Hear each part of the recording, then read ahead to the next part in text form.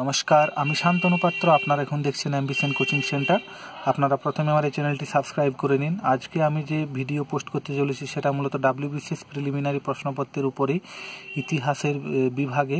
কিন্তু এই ভিডিওটা অন্যান্য ভিডিওগুলোর থেকে একটু আলাদা এই কারণে। তার কারণ এখানে আমি পুরো ডাব্লিউবিসিএস প্রিলিমিনারি এখনও পর্যন্ত যে সমস্ত প্রশ্নপত্র ইতিহাসের উপর এসেছে, সেখান থেকে আমি কিছু সিলেক্টিভ প্রশ্নপত্রকে এখানে নির্বাচিত করেছি। যে প্রশ্নপত্রগুলো সলভ করা আমাদের পক্ষে একটু দুঃসাধ্য বা কঠিন এবং যার ঠিকঠাক অ্যান্সারগুলো আমরা বিভিন্ন বইও ঠিকঠাকভাবে পাই না, সেই প্রশ্নপত্রগুলো এখানে আমি বিস্তারিতভাবে আলোচনা করব এবং আপনারা প্রথম থেকে শেষ পর্যন্ত আমার এই ভিডিওটি দেখুন। তাহলে ডাব্লিউবিসিএস প্রিলিমিনারির উপর বিশেষ করে যারা প্রিপারেশন নিচ্ছেন, তাদের ক্ষেত্রে আমি বলতে পারি খুবই সুবিধা হবে এবং অন্যান্য যে এক্সাম আমি আগেও বলেছি ডাব্লিউবিসিএস কে আপনারা যদি পাখির চোখ করতে পারেন, তাহলে অন্যান্য এক্সামগুলো আপনাদের কাছে অনেক সহজ হয়ে যাবে।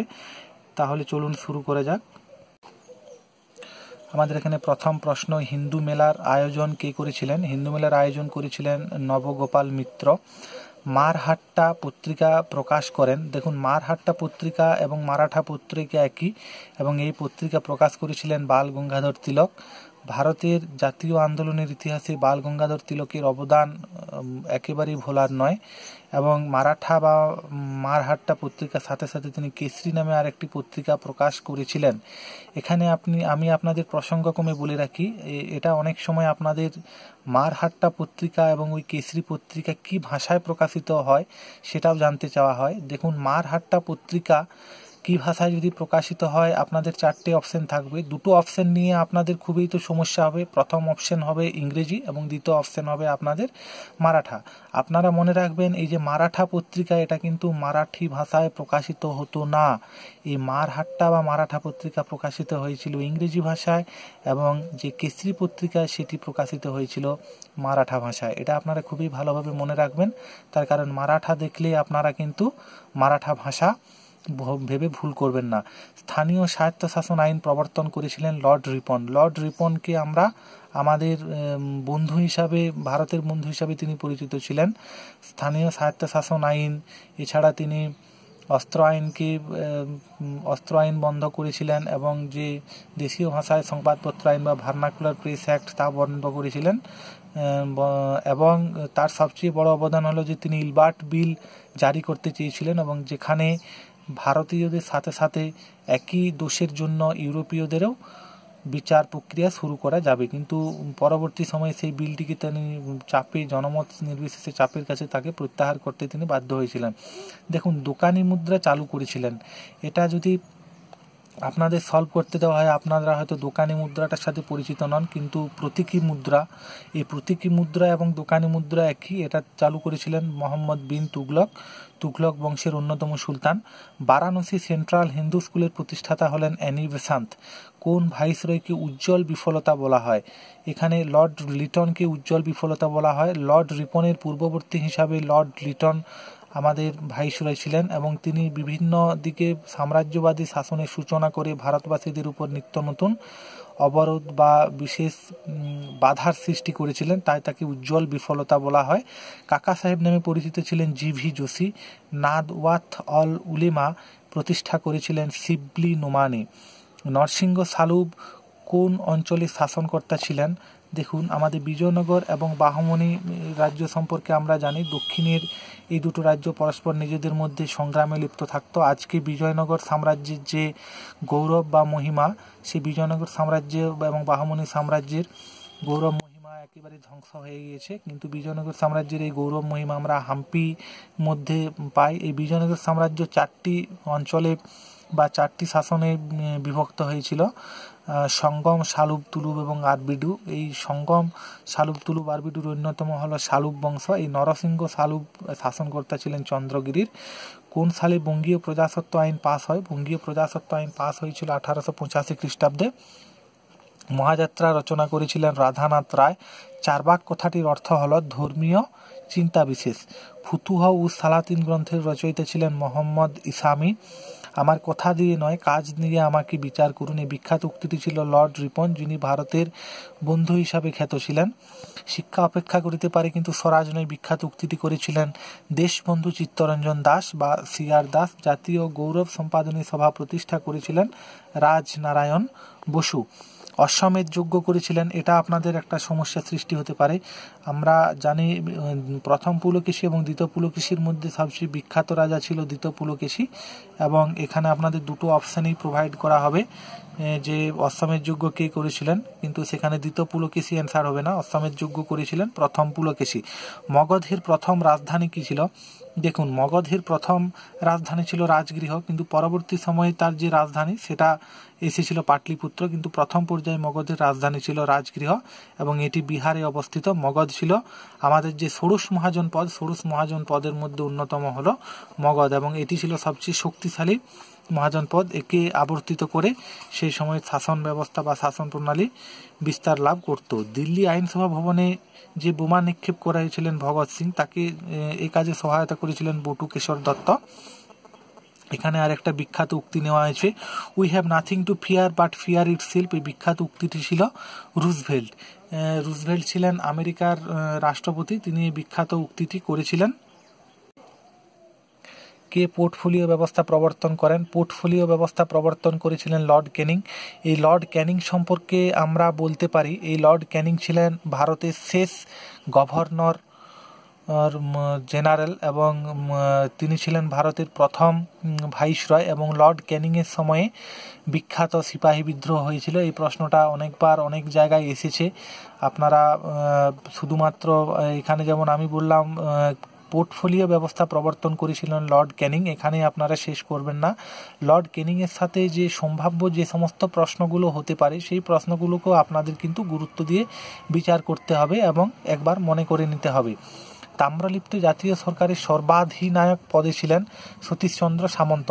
দেখুন এখানে তাম্রলিপ্ত জাতীয় সরকার, যেটা মেদিনীপুরে অবস্থিত, এখানে তাম্রলিপ্ত এবং কাঁথি দুটো জিনিসের জন্য বিখ্যাত ছিল। একটি ছিল তাম্রলিপ্তে যে স্বাধীন সরকার গঠন করা হয়েছিল, সে স্বাধীন সরকারের প্রথম প্রধান ছিলেন সতীশচন্দ্র সামন্ত এবং তাকে এই কাজে সহযোগী করেছিলেন অজয় মুখার্জি। এবং আমাদের যে আরেকটা আছে কাঁথি, সেই কাঁথিতে কিন্তু আমাদের স্বরাজ পঞ্চায়েত প্রথম গঠন করা হয়েছিল। ওটাও প্রশ্নটা আপনারা আশা করি পরে পাবেন। আমার এই ভিডিওর মধ্যেই পরবর্তী সময়ে প্রশ্নটা পেয়ে যাবেন। ভারতের প্রথম যে ঐতিহাসিক সম্রাট, তিনি ছিলেন চন্দ্রগুপ্ত মৌর্য। ভারতে ব্রিটিশ শাসনকে ব্রিটিশ ঐতিহ্য বিরোধী বলে বর্ণনা করেছিলেন দাদাভাই নৌরজি। এই ভারতবর্ষের যে এর স্বাধীনতা আন্দোলনের যে ইতিহাস, সেই স্বাধীনতা আন্দোলনের ইতিহাসে দাদাভাই নৌরজি একজন নরমপন্থী মতবাদের প্রবক্তা হলো। স্বাধীনতা আন্দোলনের ইতিহাসে তার অবদান অনস্বীকার্য এবং এই দাদাভাই নৌরজিকে কিন্তু সকলেই মেনে চলতেন এবং তার যে সমস্ত কার্যকলাপ, তাকে বিশেষভাবে সম্মান করতেন। এই দাদাভাই নৌরজি প্রথম যে ড্রেন ওয়েলথ থিওরি, অর্থাৎ আমাদের যে সম্পদ নির্গমন তত্ত্ব, সেই সম্পদ নির্গমন তত্ত্বের উপর তিনি এই আলোকপাত করেছিলেন এবং তিনি ছিলেন আমাদের যে আনব্রিটিশ রুল ইন ইন্ডিয়ার যে বই লিখেছিলেন, সেই বইটি তিনি দাদাভাই নরুজি লিখেছিলেন এবং তাকে তার মহান কার্যের জন্য দ্য গ্র্যান্ড ওল্ড ম্যান আখ্যায় ভূষিত করা হয়েছিল। জিওগ্রাফি অফ পুরাণস বইটির রচয়িতা হলেন এস মুজাফর আলী। ভারতের কমিউনিস্ট পার্টির আনুষ্ঠানিক জন্ম হয়েছিল নাইনটিন টোয়েন্টি ফাইভ। এখানে প্রসঙ্গক্রমে বলে রাখা ভালো, নাইনটিন টোয়েন্টি ফাইভে আমাদের যে আর এস আরএসএস, সেই আরএসএসেরও কিন্তু নাইনটিন টোয়েন্টি ফাইভে প্রতিষ্ঠাকাল বলা যেতে পারে। সন্ধ্যাকর নন্দী কোন বংশের সভাকবি ছিলেন? সন্ধ্যাকর নন্দী ছিলেন পাল বংশের সভাকবি। কোথায় রাসবিহারী বসু প্রথম কেরানি হিসাবে নিযুক্ত ছিলেন? দেরাদুন, যেটি বর্তমানে আমাদের উত্তরাখণ্ড রাজ্যে অবস্থিত। গুরুকুল প্রতিষ্ঠিত হয়েছিল হরিদ্বার। কোন সালে গান্ধীজি রাজদ্রোহের অভিযোগে ছ বছরের জন্য কারাদণ্ড বা বন্দী হয়েছিলেন? উনিশশো বাইশ খ্রিস্টাব্দে ছ বছরের জন্য তিনি বন্দী হয়েছিলেন। ভয়েস অফ ইন্ডিয়া প্রকাশিত হতো কোথা থেকে? ভয়েস অফ ইন্ডিয়া প্রকাশিত হতো বোম্বাই থেকে। কত সালে রয়্যাল এশিয়াটিক সোসাইটি প্রতিষ্ঠিত হয়? সতেরোশো একাশি খ্রিস্টাব্দে এখানে একটু আপনাদের বলে রাখা ভালো রয়্যাল এশিয়াটিক সোসাইটি এবং এশিয়াটিক সোসাইটি দুটো এক জিনিস নয়। এশিয়াটিক সোসাইটি আমরা জানি প্রতিষ্ঠিত হয়েছিল সতেরোশো চুরাশি খ্রিস্টাব্দে এবং প্রতিষ্ঠা করেছিলেন স্যার উইলিয়াম জোনস এই এশিয়াটিক সোসাইটি এখনও আপনারা কলকাতায় গেলে দেখতে পাবেন। এই এশিয়াটিক সোসাইটি সম্ভবত শুধুমাত্র ভারতবর্ষে নয়, আমাদের সমগ্র পৃথিবীর ইতিহাসে সবথেকে যদি মূল্যবান গ্রন্থ বা পুঁথির কথা যদি আমরা বলি বা যে সমস্ত ঐতিহাসিক গ্রন্থগুলো পাওয়া যায়, সেই ঐতিহাসিক গ্রন্থগুলো কিন্তু এশিয়াটিক সোসাইটিতে আছে এবং সেখানে সাধারণ মানুষ ঢুকতে পায় না। ঢুকতে গেলে আপনাকে বিশেষ পারমিশন নিয়ে সেখানে যেতে হবে। এশিয়াটিক সোসাইটি গান্ধার শিল্প ছিল গান্ধার শিল্পের বৈশিষ্ট্য এখানে জানতে চাওয়া হয়েছে। এই শিল্পরীতি অনুযায়ী প্রথম বুদ্ধ মূর্তি নির্মিত হয়েছিল এবং এই শিল্পরীতি মথুরা শিল্পরীতি থেকেও অনেক উন্নত ছিল। আমরা যে চন্দ্রগুপ্ত মৌর্যের কথা পড়েছি, আমরা জানি চন্দ্রগুপ্ত মৌর্য ছিলেন মৌর্য নামক বংশজাত, কিন্তু তিনি ব্রাহ্মণ ক্ষত্রিয়, বৈশ্য শূদ্র, এই চার বংশের মধ্যে তিনি ক্ষত্রিয় বংশের থেকে বিলংস করতেন। এখানে একটা বিখ্যাত উক্তি নেওয়া হয়েছে, পচনশীল গাছের গোড়াতে এসেও আমরা কুঠারাঘাত করি, ডালপালাগুলো নিজের থেকে খসে পড়বে। এই বিখ্যাত উক্তিটি করেছিলেন প্রথম বাজিরাও এবং প্রসঙ্গক্রমে বলে লেখা যায়, প্রথম বাজিরাও কিন্তু হিন্দু পাদপাদ সাহির যে আদর্শ সেই আদর্শের স্বপ্ন দেখতেন এবং হিন্দু ধর্মের বিশেষ পৃষ্ঠপোষক ছিলেন। কলিঙ্গ যুদ্ধের উল্লেখ পাওয়া যায়, অর্থাৎ অশোক যে কলিঙ্গ যুদ্ধ করেছিল, সেই কলিঙ্গ যুদ্ধের যে উল্লেখ তা পাওয়া যায় অশোকের ত্রয়োদশ শিলালিপি থেকে। টিপু সুলতান যিনি হায়দার আলীর পুত্র ছিলেন, এই টিপু সুলতানের চূড়ান্ত পরাজয় ঘটেছিল লর্ড ওয়েলিসলির হাতে সতেরোশো নিরানব্বই খ্রিস্টাব্দে এবং এই যুদ্ধে তিনি পরাজিত এবং নিহত হয়েছিলেন। চরমপন্থী মত ও পথের উত্থানের প্রত্যক্ষ কারণ হিসাবে বলা যেতে পারে যে বঙ্গ বিভাজন উনিশশো পাঁচ খ্রিস্টাব্দে যে বঙ্গ বিভাজন করার যে পরিকল্পনা গ্রহণ করা হয়েছিল, আমাদের যে লর্ড কার্জন তিনি এই বঙ্গভঙ্গ করার পরিকল্পনা গ্রহণ করেছিলেন এবং এই বঙ্গভঙ্গকে ঠেকানোর জন্য নরমপন্থীদের কাছ থেকে চরমপন্থী মতবাদ উত্থান হয়েছিল এবং বঙ্গবিভাজনে সরাসরি বিরোধিতা করেছিলেন। উপনিষদগুলি সংকলিত হয়েছিল মোটামুটি আটশো খ্রিস্টপূর্বাব্দে। এখানে বিশি কথার অর্থ হলে বিফোর খ্রিস্ট। আপনারা সকলেই জানেন, মোটামুটি আনুমানিক আটশো খ্রিস্টপূর্বাব্দে এই উপনিষদগুলি সংকলিত করা হয়েছিল। কোন অধিবেশনে সমাজটিক বা সামাজিক গণতান্ত্রিক প্রস্তাব পাস হয় লাহোর অধিবেশন। এই লাহোর অধিবেশন হয়েছিল উনিশশো উনত্রিশ খ্রিস্টাব্দে। এই লাহোর অধিবেশন বিশেষভাবে উল্লেখযোগ্য। আপনারা লাহোর অধিবেশন সম্পর্কে বিস্তারিত পড়ে নেবেন। এই লাহোর অধিবেশন থেকে অনেকগুলো প্রশ্ন কিন্তু পরীক্ষায় করা হয়। হরপ্পার কোন অঞ্চল ধান চাষের সঙ্গে যুক্ত ছিল? হরপ্পার যে দুটো কেন্দ্র লোথাল এবং রংপুর, তারা ধান চাষের সাথে যুক্ত ছিল। উনিশশো সাত সালে কংগ্রেসের অধিবেশনে নরমপন্থী এবং চরমপন্থীদের মধ্যে যে মতপার্থক্য হয়েছিল, সেই মতপার্থক্যকে কেন্দ্র করে হয়েছিল বয়কটকে। বয়কটকে কেন্দ্র করে নরমপন্থী এবং চরমপন্থীর মধ্য দিয়ে মতপার্থক্য হয়েছিল। লর্ড মাউন্টব্যাটেন কাকে একাই এক সীমান্ত বাহিনী বলে উল্লেখ করেছিলেন? মহাত্মা গান্ধী, এখানে আপনারা কিন্তু ভুল করবেন না। সীমান্ত গান্ধী এবং সীমান্ত বাহিনী দুটো কিন্তু আলাদা কথা। আমরা জানি সীমান্ত গান্ধী বলা হতো খান আব্দুল গফর খান এবং এই খান আব্দুল গফর খান ছিলেন এই মহাত্মা গান্ধীর একজন বিশ্বস্ত অনুগামী অনুগামী এবং তাকে লাল কুর্তা বাহিনীও বলা হতো। কিন্তু এখানে আমাদের লর্ড মাউন্ট বেটেন এক, একাই এক সীমান্ত বাহিনী বলে উল্লেখ করেছেন। কিন্তু এই একাই এক সীমান্ত বাহিনী অ্যান্সার হবে মহাত্মা গান্ধী। ভিল বিদ্রোহ সংগঠিত হয়েছিল গুজরাট এবং মহারাষ্ট্রে এবং খানদেশ প্রদেশের মধ্যে ভিল বিদ্রোহ সংগঠিত হয়েছিল। বাংলায় কখন তেভাগা আন্দোলন, তেভাগা অর্থাৎ তিন ভাগের এক ভাগ, তিন ভাগের যে শস্য উৎপাদন হতো সেই তিন ভাগের এক ভাগকে খাজনা হিসেবে দিতে হতো এবং এটি হয়েছিল উনিশশো ছেচল্লিশ সালের ডিসেম্বর নাগাদ। কোন জায়গাকে সাঁওতালরা দামিনী কুহু বলতো? রাজমহল, পাহাড়কে এবং মুর্শিদাবাদ জেলার কিছু অঞ্চলকে যেটা বন পরিষ্কার করে সাঁওতালরা সেখানে বসবাস করতো, সেই জায়গাকে তারা রাজমহল, পাহাড় বলতো। এবং রাজমহল পাহাড়ে তারা দামিনী কুহ নাম ছিল, যেখানে তারা বসবাস করতো। উনিশশো সালে কোথায় স্বরাজ পঞ্চায়েত? দেখুন, এই স্বরাজ পঞ্চায়েত যেটার কথা বলতাম, এই প্রশ্নটা খুবই ইম্পর্ট্যান্ট এবং অন্যান্য অনেকগুলো বইয়ে আমি এই প্রশ্নটা ভুল দেখেছি। এটার রাইট অ্যান্সার হবে, উনিশশো বিয়াল্লিশ সালে স্বরাজ পঞ্চায়েত তৈরি হয়েছিল কিন্তু কাঁথিতে।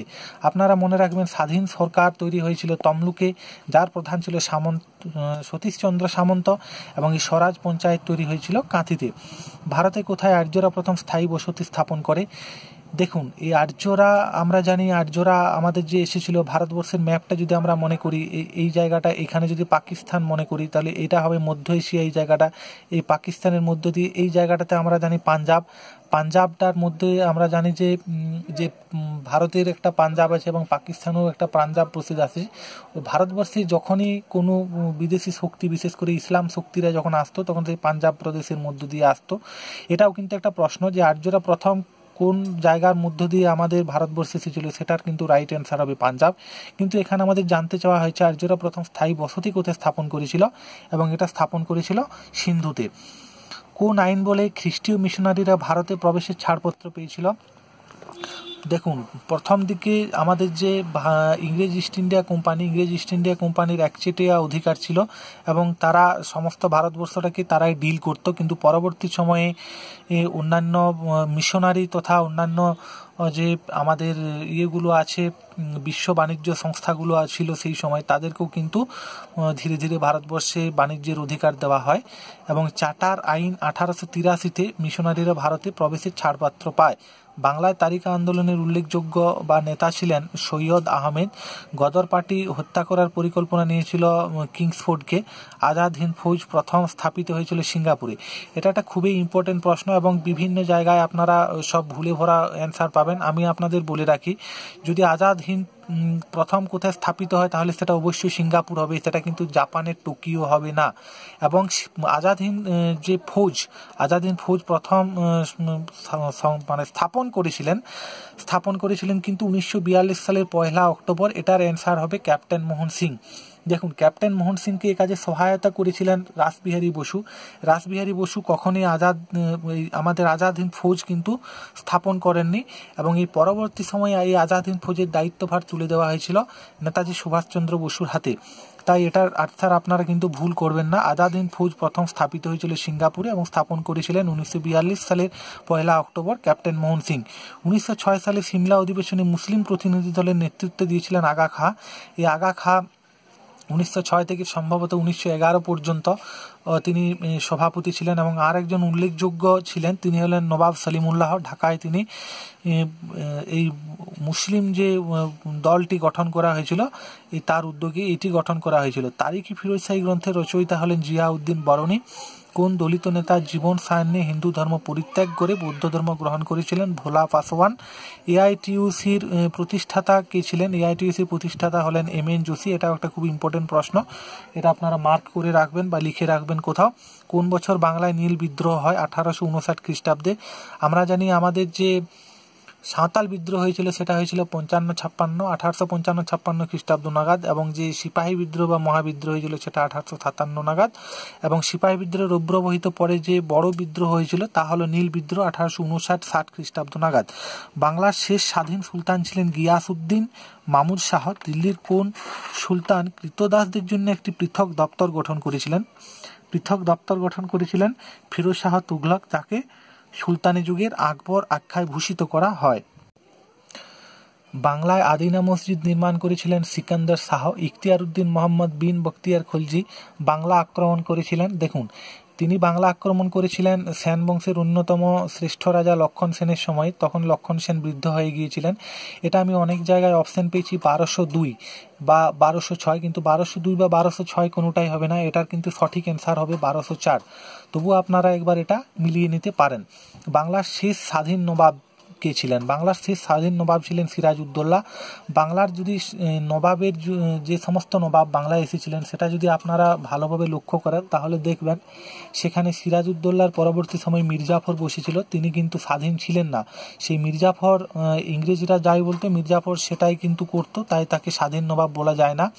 বাংলার শেষ স্বাধীন নবাব হিসাবে সিরাজ উদ্দৌলাই সঠিক অ্যান্সার চট্টগ্রামের পাহাড়তুলিতে সাহেবদের ক্লাব আক্রমণের নেতা ছিলেন। এটা কিন্তু আপনারা মাস্টারদা সূর্য সেন ভেবে ভুল করবেন না। যদিও প্রীতিলতা ওয়েদ্দেদার মাস্টারদা সূর্য সেনের নেতৃত্বে কাজ করতেন, কিন্তু এখানে পাহাড়তুলি আক্রমণের নেতা হিসাবে প্রীতিলতা ওয়াদ্দেদারি হবে এবং এই প্রীতিলতা ওয়াদ্দেদারি হলেন প্রথম মহিলা যিনি আমাদের স্বাধীনতা সংগ্রামের জন্য প্রাণ বিসর্জন দিয়েছিলেন। ভারতের সিভিল সার্ভিসের প্রবর্তন হলেন লর্ড কর্নওয়ালিস এটা একটা খুব ভিভিআই ইম্পর্টেন্ট কোশ্চেন অনেকবার এই প্রশ্নটা এসেছে এবং এটার সহযোগী যে অ্যান্সারগুলো আপনারা বিভিন্ন বইয়ে মাঝে মধ্যে পেয়ে থাকবেন, লর্ড ডাল হৈসি পাবেন এবং ওয়ারেন হেস্টিংস পাবেন, কিন্তু এটার সঠিক অ্যান্সার হবে লর্ড কর্নওয়ালিস আগামী পঞ্চাশ বছর ভারতীয়দের একমাত্র উপাস্য দেবতা হোক ভারত মাতায় বিখ্যাত উক্তিটি ছিল স্বামী বিবেকানন্দের কলকাতা বিশ্ববিদ্যালয় কোন স্থান কোন সালে স্থাপিত হয়? কলকাতা বিশ্ববিদ্যালয় স্থাপিত হয়েছিল মহাবিদ্রোহের সময়ে, অর্থাৎ আঠারোশো সাতান্ন খ্রিস্টাব্দে। বাংলার ঘরে যত ভাই বোন এক হৌ খে ভগবান, এই কবিতাটি লিখেছিলেন বা এই বিখ্যাত গানটি লিখেছিলেন রবীন্দ্রনাথ ঠাকুর। জাতীয় মেলা প্রতিষ্ঠা করেছিলেন নবগোপাল মিত্র। সর্বভারতীয় কিষাণ সভা গঠিত হয়েছিল উনিশশো ছত্রিশ খ্রিস্টাব্দে। অসহযোগ আন্দোলন প্রত্যাহার করা হয়েছিল। দেখুন, যে অসহযোগ আন্দোলন উনিশশো কুড়ি খ্রিস্টাব্দে গান্ধীজি চালু করেছিলেন এবং খিলাফত আন্দোলনের সঙ্গে যাকে যুক্ত করা হয়েছিল। উত্তরপ্রদেশের চৈরাচৈরি নামক স্থানে উত্তেজিত জনতা যখন একটি পুলিশ ফাঁড়িতে আগুন ধরিয়ে দেয় এবং সেখানে বেশ কিছু পুলিশ ফাঁড়িতে পুলিশের মৃত্যু হয়, তখন এই আন্দোলন যেহেতু সহিংস আন্দোলনের রূপ নিচ্ছিল, তাই গান্ধীজি এটি বন্ধ করে দিতে বাধ্য হয়েছিলেন। এবং এটার প্রত্যাহার করার তারিখ ছিল এগারোই ফেব্রুয়ারি উনিশশো বাইশ। উনিশশো বাইশটাই মনে রাখা রাখলেই আপনাদের হবে, কিন্তু এখানে অপশানে কিন্তু এর ডেটটাও উল্লেখ করেছিল তাই এটাও আপনারা মনে রাখতে পারেন। এগারোই ফেব্রুয়ারি মন্টেগু চেমসফোর্ড সংস্কারে সুপারিশ করা হয়েছিল দ্বৈত শাসনের উপর। অকালী আন্দোলন শুরু হয়েছিল উনিশশো একুশ খ্রিস্টাব্দে ব্রাহ্মসভা, যেটি প্রথম সময়ে ব্রাহ্ম সমাজ যেটি স্থাপন করেছিলেন রাজা রামমোহন রায়, পরবর্তী সময়ে ব্রাহ্মসভা নাম ধারণ করেছিল। ব্রাহ্মসভার প্রথম সচিব ছিল তারা চাঁদ চক্রবর্তী এবং এর সভাপতি ছিল দ্বারকনাথ ঠাকুর।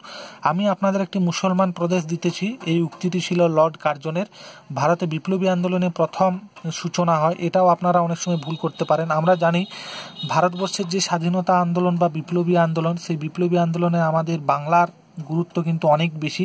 কিন্তু এই যে বিপ্লবী আন্দোলনের প্রথম সূচনা হয়েছিল মহারাষ্ট্রে এবং বাসুদেব বলবন্ত ফাদকে নামে একজন বিশিষ্ট স্বাধীনতা সংগ্রামী এই আন্দোলনের সূচনা করেছিলেন।